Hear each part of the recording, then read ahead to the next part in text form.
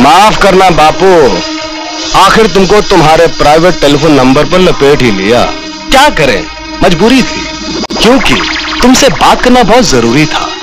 सुना है कि वर्सोवा बीच पर 20 लाख का माल पुलिस पकड़ेगी और पुलिस को लपेटे में डालकर दूसरी तरफ़ से तुम दो करोड़ का माल हजम कर जाओगे।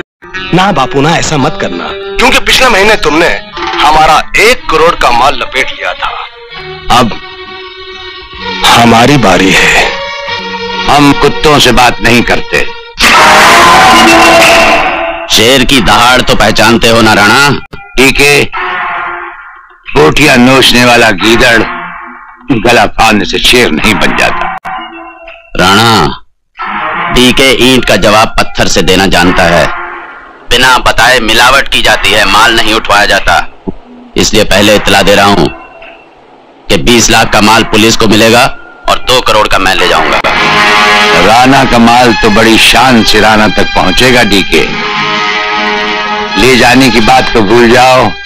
अगर तुमने गलती से उसे कहीं देख भी लिया तो हम तुम्हें ऐसी मौत मारेंगे तुम्हारी आने वाली नस्लों की नींद भी उस मौत के खौफ से उड़ जाएगी। बड़े भाई हमें यह तो मालूम है कि राणा का माल पुलिस कहाँ लपेटेगी लेकिन हमें यह नहीं मालूम कि राणा का माल उतरेगा कहाँ?